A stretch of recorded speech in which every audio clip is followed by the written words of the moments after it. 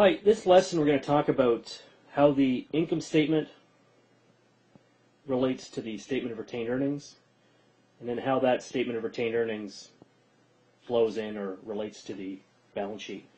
So first of all, let's just define quickly what an income statement is. An income statement is you take all the revenues of the business for the year, in this example, year one, which is $1,000. And from the revenue, you subtract all the expenses. That's the $950 in advertising, telephone, and other expenses we've identified here. So whatever's left over is something called net income or net profit. There's different ways to uh, call it, but in this example, let's just stick with net income. So the 1000 minus the 950 gives us a net income of $50.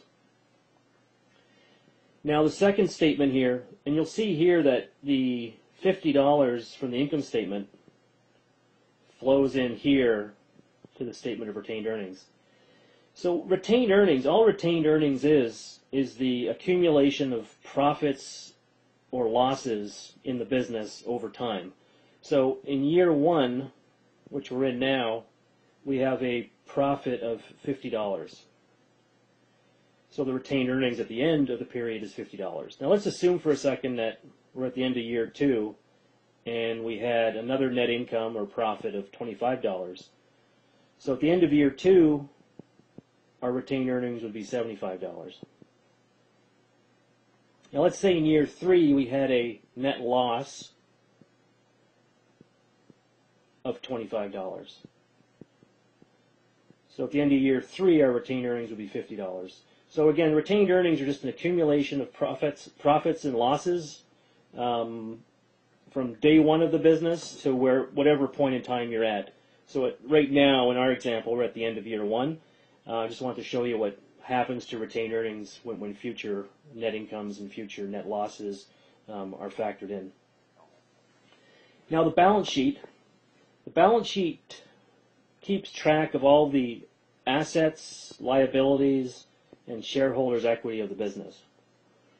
So, first of all, just to show you how the statement of retained earnings ties into the balance sheet, you'll see that the $50 here ties into the balance sheet through the shareholders' equity section under the name retained earnings.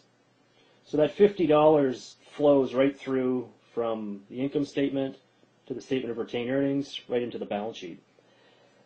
So to define, to, to wrap up here, to define what a balance sheet is, a balance sheet is, we mentioned that you look at all the assets of the business. So assets of the business can be anything the business owns. That could be cash, that could be um, amounts on account that customers owe them. It could be uh, tables, chairs, equipment, that sort of stuff. Liabilities are items that the company owes money for. So if they bought supplies on account from Staples, then if they haven't paid that bill yet, that would be an accounts payable. Um, other types of uh, liabilities would be if they've borrowed money and they owe money to the bank. So assets are things they own, liabilities are things they owe. Now finally, you have something called the shareholders' equity section. And there's a couple components in, in this section. I just wanted to put in retained earnings. That's the main one. There's something called capital stock, but we won't put that in here right now. So retained earnings is the shareholder's equity in this example.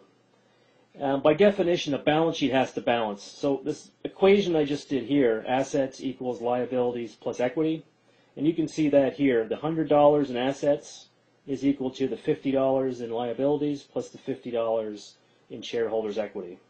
Another way to state this uh, formula, what some people prefer it this way, is assets minus liabilities equals equity. And in this example, you know, think about a house. If you owned a house that was the asset was $100,000 and you owed $50,000 in a mortgage, your equity would be $50,000. Same thing applies in a business on a balance sheet. Um, so those are just what I wanted to accomplish here was show you how the income statement, statement of retained earnings, and balance sheet are all tied to one another, and to give you a, a quick overview of what each financial statement does. And One last thing I forgot to mention on the statement of retained earnings, there is something else called dividends that factors into this calculation, but we'll leave that for another time. No sense complicating it here. And that summarizes things for now. We'll talk to you next time. Thanks for stopping by.